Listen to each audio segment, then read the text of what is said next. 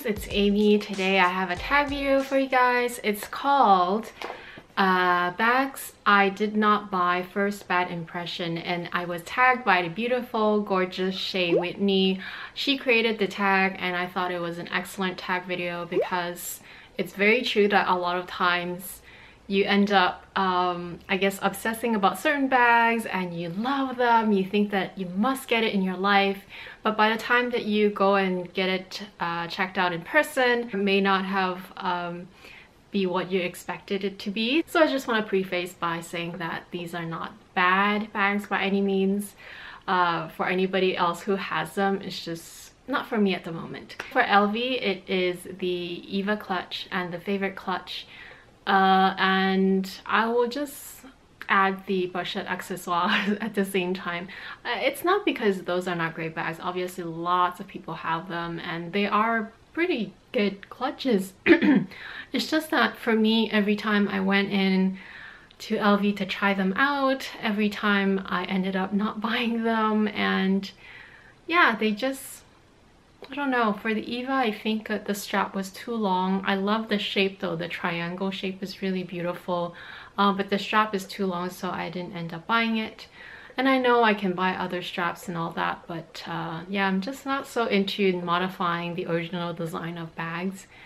And um, with the favorite, there's always been something about the magnet that kind of annoyed me. Um, and also the strap one end has the clasp one the other doesn't. And then the pochette accessoire was just like always kind of like a backup plan in my head. I thought if neither one of those more expensive clutches work maybe the pochette accessoire would. But i don't know. It was just a little simple. Um, i didn't have the need for something uber simple like this uh, because I really wanted a clutch where I can wear for evening, wear for weddings and stuff like that. And none of those really wowed me in a sense.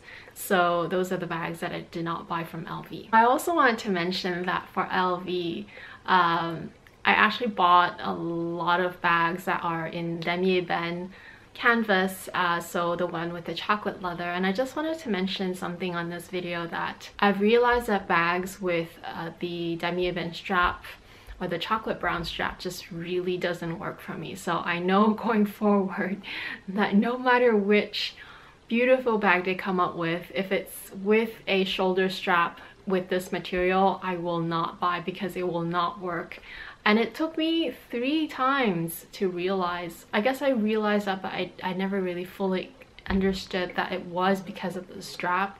Not the material itself not the print itself it's beautiful uh, because it's weatherproof and all that. Um, but it's the strap itself. If it's made with the Damier Ebene canvas uh, sorry uh, leather then the way it's cut and made is just really really stiff and really um, like really sharp so I know that those will not work for me so just as an FYI. With Chanel I have a couple bags that uh, I thought I was crazy about as well. A lot of people love them and it I don't I don't know when I when I finally went to try them on it just yeah, it was kind of underwhelming for me again. So the first one is a very popular one. It's the wallet on chain. Uh, didn't matter which print or material or uh, um, season it was. Uh, it was just really small for me. And I know it's all relative. Some people think that it's a larger size wallet on chain. For me, it's still really small. And you know, that's end of story when it's not gonna fit my phone and my keys and another thing in it that's just a deal breaker for me uh, plus the fact that um, the chain is so long it just wouldn't ever work for me. So that was a given pretty straightforward easy. I tried it on once I knew it wasn't for me. The second bag which was more of a surprise is the Coco Chanel uh, handle uh, bag.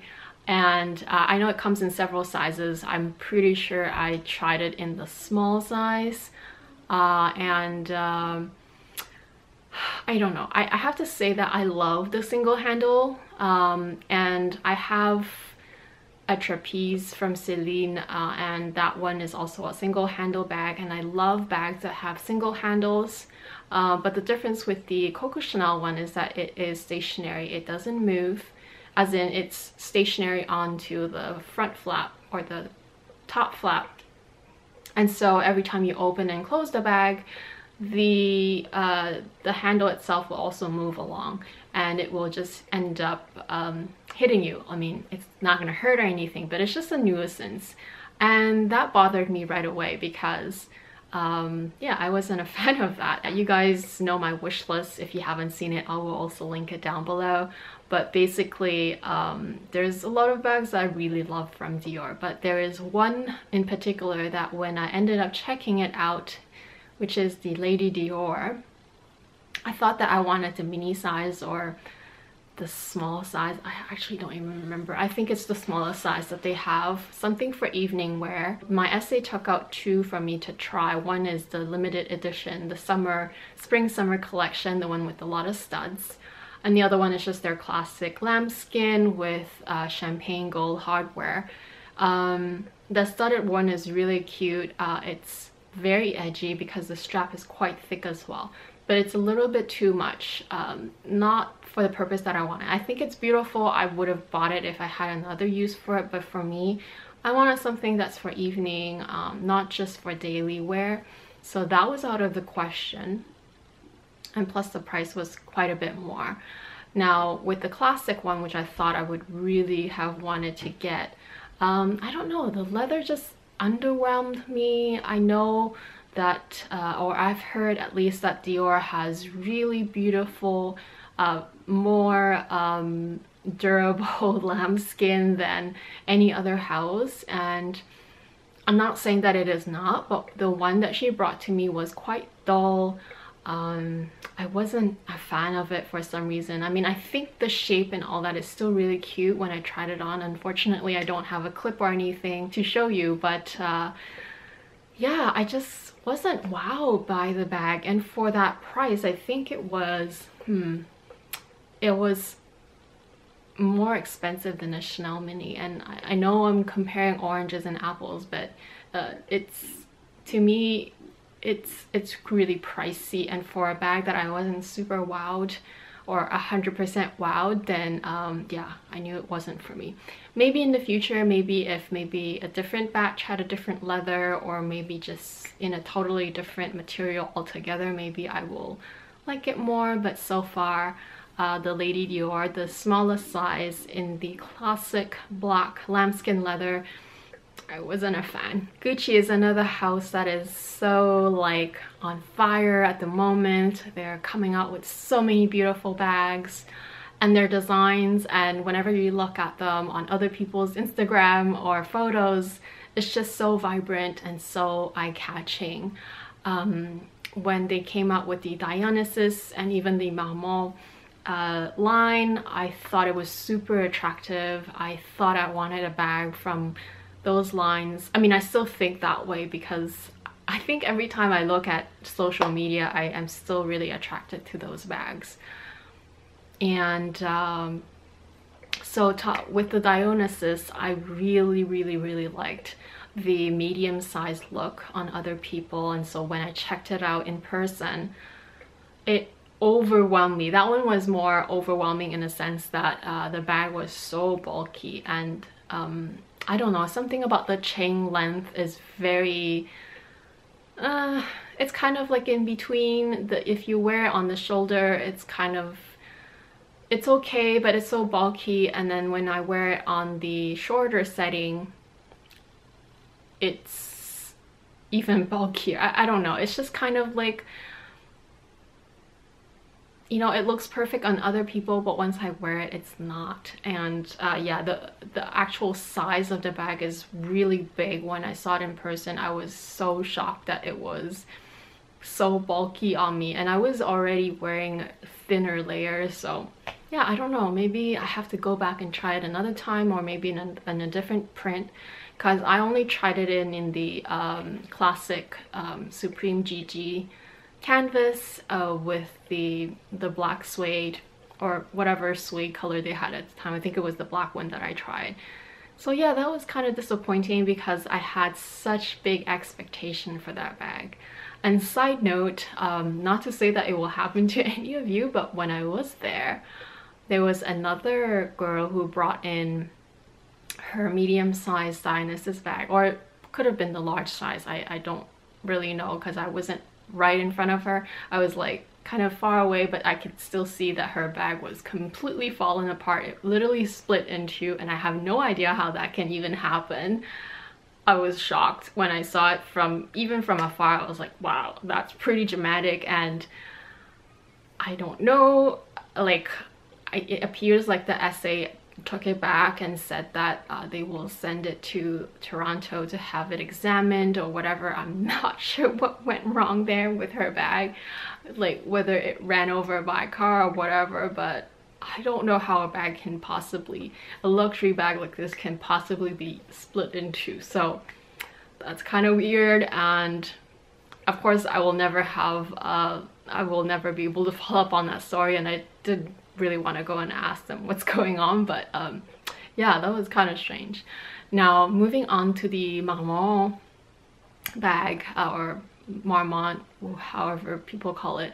Um, yeah, that is also really gorgeous on other people, but uh, I don't know. I, I went to, when I was in Vegas, I tried the suede one and I just wanted the mini one because I'm always on, on the hunt for a good, nicer evening bag. Um, and hence the fact that I looked at the Eva and all these kinds of smaller bags.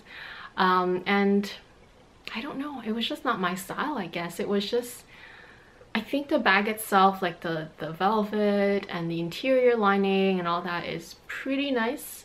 Um, but there's something about the combination of the thicker chain and the smaller velvet bag didn't work out for me for some reason. I, I felt like maybe if it was on a more delicate chain, um, that it would be better. I don't know. I mean, it, it looks great on other people but when I tried it on I, I just didn't feel like it was my style for some reason and so I was like okay maybe it's just the velvet so I went ahead and tried it in the leather version and I quite like it more I have to say in the leather full leather smooth leather version but then again it was just not it didn't wow me a hundred percent like I, I thought it was nice but it just wasn't quite to the point where I felt like I needed it and that I wanted to buy it on the spot. So I don't know, it's still sort of something that I admire from afar on other people uh, and that I may continue to go back